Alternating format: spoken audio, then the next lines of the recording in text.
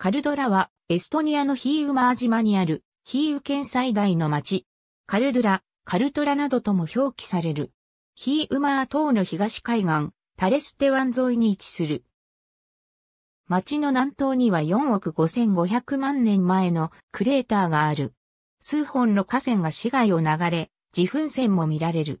1564年の文献に、スウェーデン人の村として初めてその名が登場する。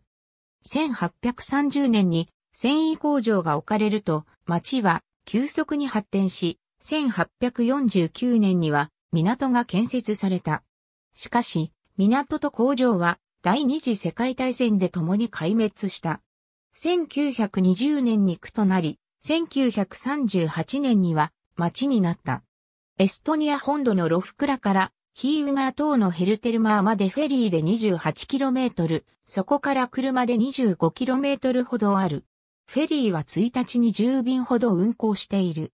夏の週末には車を乗せる場合予約が必要になる。タリン、カルドラ間のバスが1日に便出ている。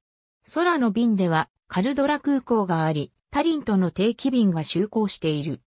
カルドラの市街自体は小さく、歩いて回れるほどだが、レンタサイクルも利用でき、コルゲッサーレ方面へはよく管理された自転車、専用道路が走っている。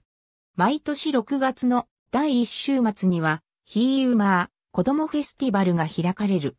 また、8月の第1週には15のカフェテリアが当日だけオープンし、自宅の庭でコーヒーや自家製の菓子を振る舞う。